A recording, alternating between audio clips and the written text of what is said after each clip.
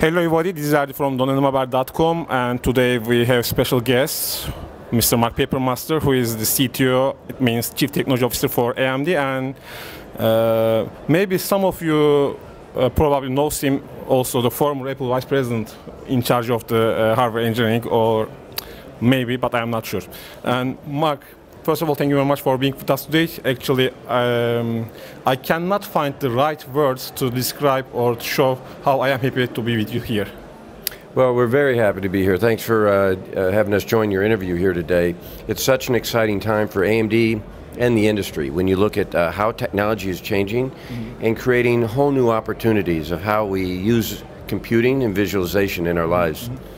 Actually, I have some topics to discuss with you, and my first question is going to be about the VR, virtual reality. Mm -hmm. It's, it is not a new technology, it is not a new concept, but uh, probably with Oculus, last three years, uh, we talk lots about the virtual reality, and probably uh, next decade we will talk more. So, yes. Uh, what is the importance of the virtual reality for AMD and also for all kind of uh, technology company and all people?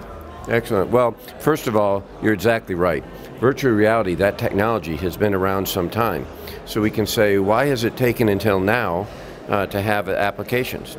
Well, and really what you see right now is several technological factors that make it ready. One, you have the proper processing power. This is what we focus on in AMD. Is very strong compute and graphics capability at an affordable price. Uh, second, uh, you have to have the right uh, software capabilities. It turns out for virtual reality, to create that content, what the people are using now is the same type of software they used to create games. Uh, and so now the software making and is uh, there. Also, the visualization to be able to get uh, imagery. Let's say you want to do a news report in VR. Now there's inexpensive cameras where you can do a 360 degree surround capture of the images around you. But the last piece was what you said. It was about Oculus, it was about HTC Vive, it was about uh, Samsung and, and Microsoft and Sony uh, all coming out with head mount displays that allow you to experience this again at an affordable price. And that just began this year. So now you have all of the capability and so it's about creating content and now so the, the market will take off as the content comes and at AMD we're committed to make sure that we have technology today so you have a good VR experience but there's much more to go. Our roadmaps improve that experience at each generation to make it more seamless, to make it feel like you're really transported and you can't even tell the difference eventually. It will take some years, but eventually virtual reality will be very similar to the experience you and I have as we talk to one another. It will be hard to tell the difference.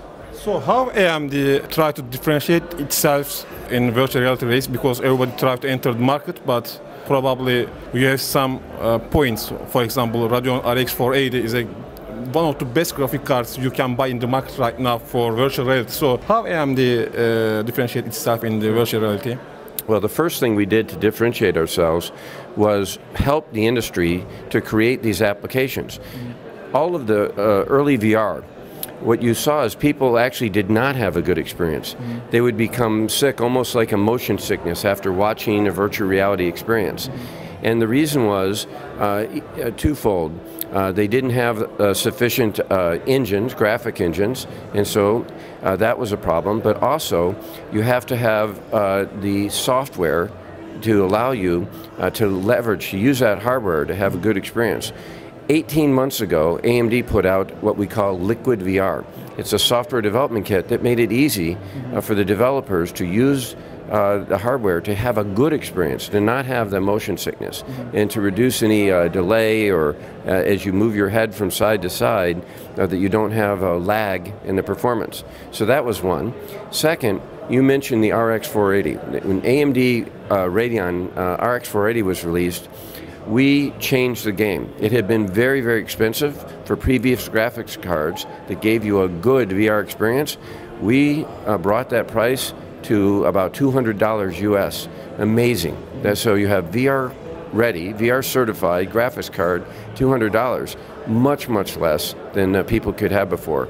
So that's, we are uh, committed AMD to accelerate uh, the VR industry to make it affordable and a great experience. The virtual reality is still the premium category because graphic cards are okay, but the headsets still so expensive for the mainstream customers. So, do you have any projection about the future of the headsets? We will see the cheaper solutions in the market, maybe near future. I do.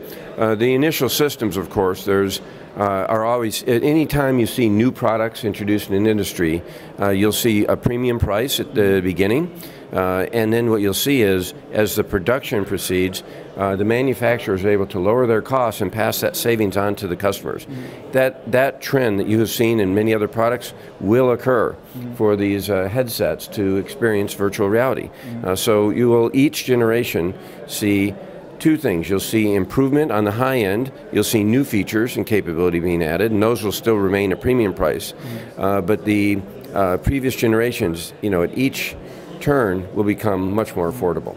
Other point is the content because virtual reality nothing without the content. So yes. to be honest, AMD is gaining momentum day by day with the uh, RTG group. So but the developer relations is slightly different kind of things. What are you doing right now for developer side? We will see more AMD friendly content uh, in the future, not just for the virtual reality and for the, all kind of gaming gamers. Well, we're very focused on the developer relationships. It's critical for us. Uh, AMD is, is, is really a phenomenal gaming platform. Let's start with the gaming industry. So we have an entire team working with the game industry. Uh, you'll see new releases of our graphics drivers regularly that optimize performance as new game titles come out. So very close relationship, optimizing so you get the premium experience, the best experience on AMD Radeon. Mm-hmm. That will repeat for virtual reality. That same team uh, uh, is working with the virtual reality content creators. Uh, we are working with them to optimize, just like we have tuned um, our products so that you can run, if you run, look at DirectX 12, DX12, great performance on AMD Radeon. Uh, you'll see the same. Uh, in fact, many of the virtual reality content creators are using similar approaches that the game creators use, similar software. So it, it, you'll see us uh, grow our relationships exactly as we have with gaming, and uh, companies like to partner with AMD. That's our strength. You mentioned content creators, and I think virtual reality also has a huge potential for the content creators. Um, so you also launched the new products for the professionals. I mean, especially for the content creators. Let's talk about a little bit the uh, professional graphic cards from AMD. Yes, it's a great question. So to help spur content creation, we actually launched a new brand for AMD mm-hmm. called Radeon Pro. Yeah. Radeon Pro is exactly tailored specifically for content creators, mm-hmm. uh, giving them the, the right engine capability, the right performance, mm-hmm. uh, as well as the software tools needed to create content. So we have uh, created a special group uh, to work with those on content creation mm-hmm. and uh, make sure that where it be CAD tools, uh, generation of, uh, of imagery needed for virtual reality. Uh, again, some of these game engine software companies are now uh, having that, that work for virtual reality. Mm-hmm. All, all, really, all of them are. so we have tailored to run Radeon Pro. Here we are at the IFA uh, convention here in Berlin and uh, had the opportunity to give a keynote presentation mm-hmm. here. And actually, the entire display was beautiful graphics, was run on Radeon Pro. Mm-hmm. So we, we are using our own product uh, to create a very beautiful and rich mm-hmm. visualization. Actually, it is good to hear that. And to be honest, I can't wait to see the Zen, Zen-based CPUs from AMD. And uh, actually, I already published the video, uh, which inside the deep dive analysis of the Zen. But uh, let's talk a little bit about the Zen. Okay. What will we see in the future about the Zen-based products from AMD? Well, first, let's uh, uh, for your uh, viewing public, let's talk about what Zen is. Zen is our brand new x86 high performance CPU processing core.